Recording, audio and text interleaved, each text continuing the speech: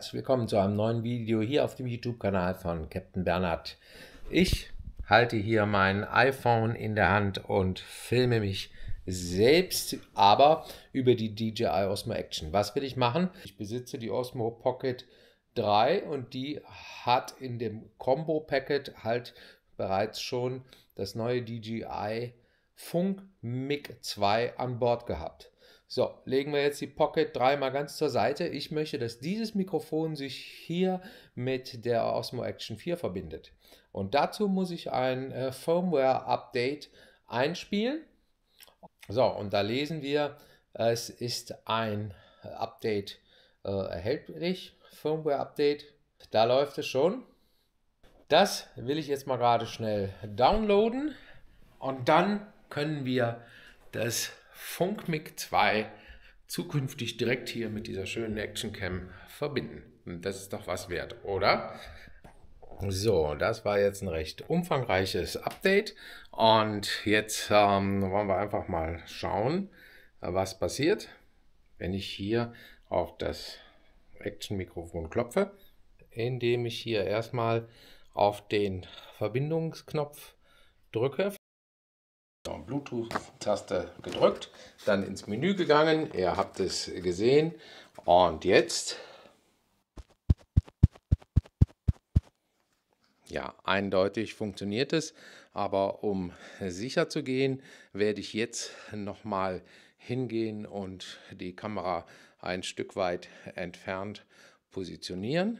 So, und jetzt gehe ich mit dem Funkmikrofon mal ein Stück weit weg und wir schauen mal, ob das hier immer noch äh, gut zu hören ist. Ich sehe es aber am Lautstärkepegel der Anzeige. Wenn ich immer ganz laut mache, ja, ja, ja, ja, das dürfte dann sogar ein bisschen verzerren.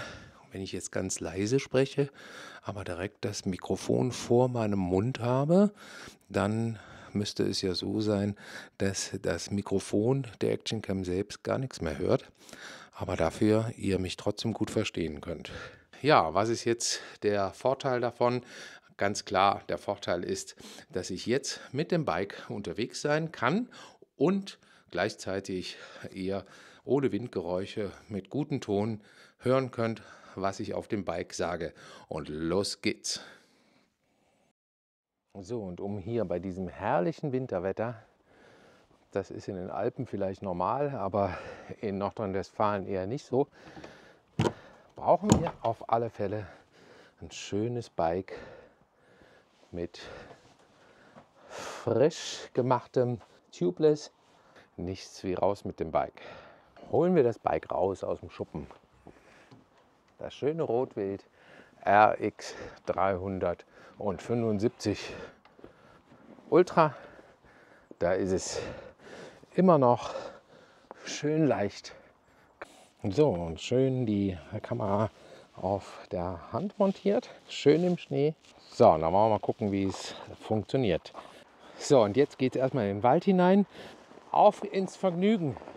Winterpracht mit Rotwild. Hier sind jede Menge Bäume umgekippt in diesem Winter bereits. So, so dann gucken, wie der Reifengrip ist hier auf dem Schnee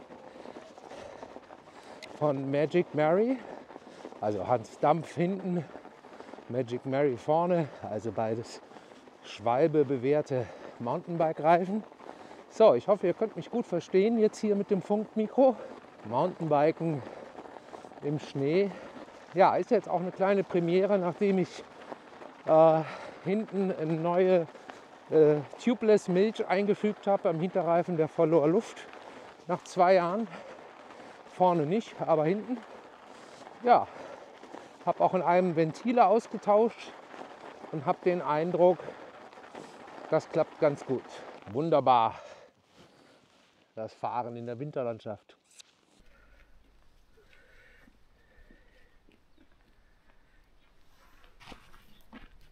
Ja, und für ein paar Zuschauer vom letzten Wochenende auf der CMT in Stuttgart vielleicht ganz interessant. Hier kommen die Würstchen her, die ich mitgebracht habe. Die ganze YouTuber-Gemeinschaft gerne genutzt hat. Die Bärlauchwürstchen. Gibt auch wieder neue. Also, wir können uns bald wieder treffen. Natürlich wackelt die Kamera wie verrückt, aber ich hoffe halt eben, dass es durch Rocksteady ausgeglichen wird. Rocksteady ist bei der Action Cam von DJI die elektronische Bildstabilisierung. Ich schaffe das auch. Gerne.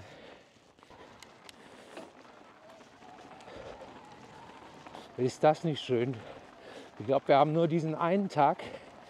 Bereits ab Montag soll die Temperatur von jetzt minus 5 Grad auf plus 14 Grad steigen mit Regen. Dann wird hiervon nichts mehr übrig sein. Leider. Das hier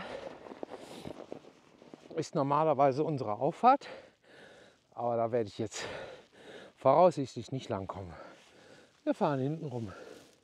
Aber ein spannender Test wäre doch, ob vielleicht durch dieses Schneefeld durchgeht mit den Reifen. Ich habe ja hier kein Fatbike zur Verfügung. Schöner Test. Ihr seht es tatsächlich im Sitzen starten. Jetzt flügen wir uns da durch. Das lieben die Wanderer immer sehr. Aber hier ist schon eine große Spur. Hier ist irgendein Auto lang gefahren oder Traktor. Ja. Und ihr habt es gesehen, wir sind da durch. Super, ne? Ja, das war so Tag. Guten Tag. Und ganz schön kräftezehrend das Ganze. Aber wunderschön. Jetzt muss ich gucken, ob ich da hochkomme, den Pferden hinterher. Ein bisschen Pause einlegen hier.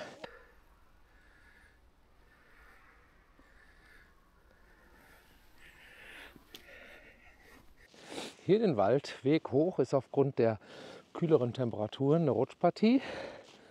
Aber der Grip der Reifen ist doch gut. So. Und ich komme hier hoch. Ich schalte mal einen höher. Ja, sind wir sogar schneller unterwegs. Not bad. Nice.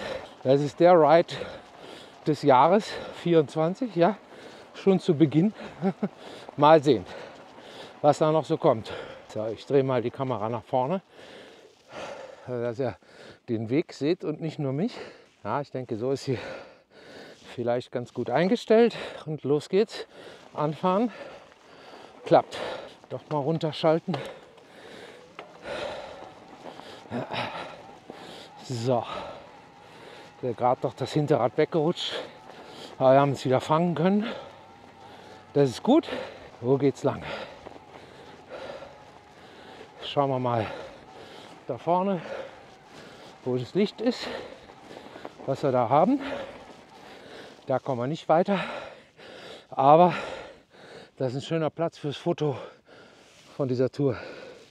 Machen wir jetzt.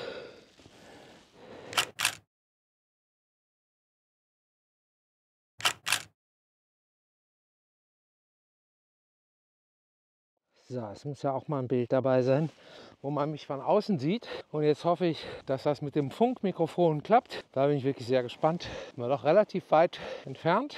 Muss man aufsitzen hier, um anfahren zu können, damit das Hinterrad Gewicht hat. Auch sollte man höchsten Trail-Modus nehmen und nicht den Boost-Modus. Pedale im Anschlag.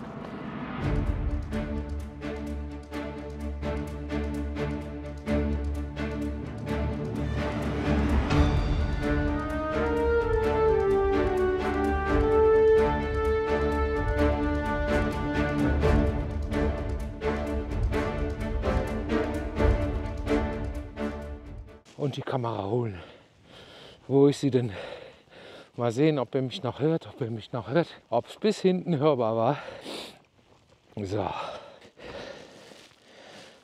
Bin ich sehr gespannt.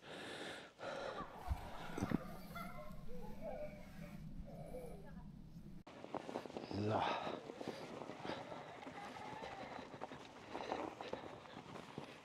Ja, das war gerade Lenkerbreite und durchgekommen. Ich weiß, dass hier auf diesem Abschnitt tiefe Forschen im Untergrund sind. Ich kann nur hoffen, dass der Schnee das einigermaßen ausgleicht. Man sieht es nicht so gut. Ich weiß es aber vom letzten Schneematsch wandern hier im Herbst. Ja, geht doch gut.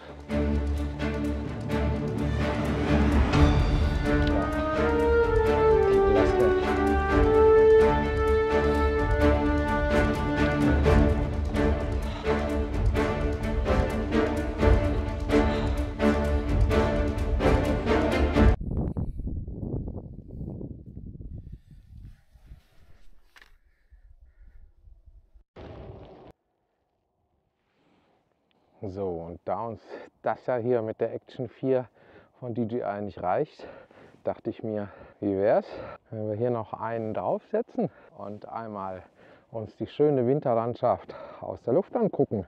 Da ist zwar nur noch ein bisschen Restakku drin, aber wir fliegen trotzdem. Ja, klappt doch gut. So, und dann würde ich sagen, nehmen wir das, was wir hier sehen, auch mal gleich auf. Jawohl. Und ab nach oben. Schönes bergisches Land hier. Winterlandschaft.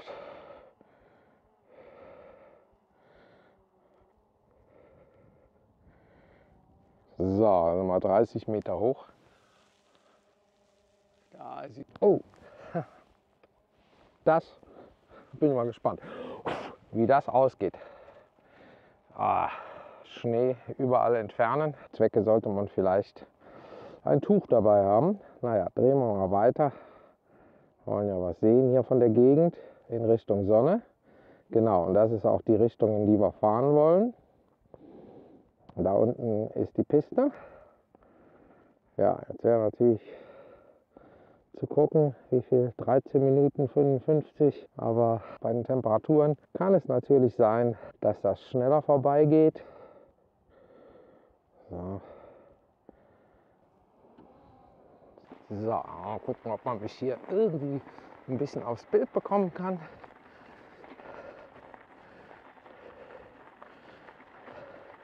Müsste hoffentlich klappen. So, da fährt der, der Captain. Ich fliege die Drohne jetzt mal hinterher.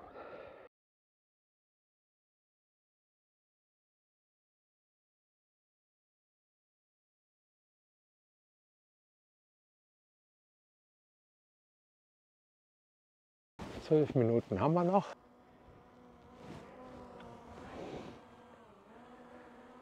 Die Action Cam läuft hier die ganze Zeit irgendwie. So, muss ich gucken, ob ich die Drohne hier am besten mal lande. Das ist jetzt Maßarbeit. So können wir es versuchen. Ja, perfekt würde ich sagen. So, wie ich so bin, werde ich direkt mal hier am Platz die äh, Filmchen und Bilder von der Drohne aufs Handy übertragen. Da muss ich das zu Hause nicht nochmal einschalten. So, und so wie ich nun mal gestrickt bin, übertrage ich die Sachen direkt aufs Handy. Da muss ich das nicht zu Hause machen und die Zeit nutze ich mal hier ein bisschen in die Sonne zu gehen. Die geht nämlich hinter dem Wald so langsam unter. Aber hier ist sie noch. Eine so schöne Winterlandschaft und ich bin begeistert davon, wie gut das äh, Rotwild RX 375 Ultra, also Mountain E-Bike in Light-Version. Es wiegt ja nur äh, ungefähr 17, 18 Kilo und ähm, das klappt richtig gut. Ähm, natürlich kann ich mithalten mit so einem Fat Bike mit den ganz dicken Autoreifen drauf.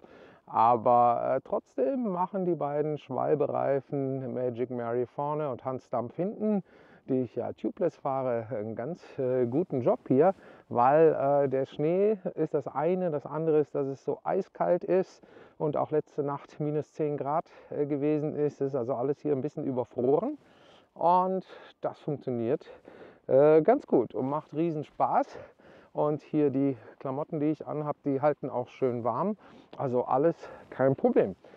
Ja, ich hoffe, euch hat das Video gefallen. Falls ja, lasst einen Daumen hoch da und abonniert den Kanal, denn es wird hier sowohl bikemäßig als auch campermäßig noch einiges kommen. Und wenn ihr abonniert habt und die nächsten Videos nicht verpassen wollt, äh, dann aktiviert auch die Glocke. Wenn ihr Fragen habt, schreibt es in die Kommentare. Ich antworte euch gerne mindestens mit einem Herzchen. Das mache ich. So, und äh, dann sage ich mal bis demnächst. Euer Captain Bernhard. Ciao. So, und auf geht's nach Hause. Und ich lasse euch jetzt mal hier teilhaben an dieser schönen Winterlandschaft und dem Sonnenuntergang. So, ja, hier hätte man jetzt auch mit Skiern fahren können. Aufmerksame Zuschauer des Kanals wissen, hier habe ich schon häufiger die Drohne steigen lassen an diesem Platz hier. Aber so sieht es doch wirklich besonders toll aus, muss man einfach sagen. Das ist super. So, das ist jetzt hier eine reine Eispiste, wo ich gerade drauf bin. Da muss ich völlig aufpassen, dass ich hier den Grip nicht verliere. Nur mit dem Hinterrad bremsen, bloß nicht vorne. Aber ich wundere mich, die Reifen, die haben super Grip. Hallo.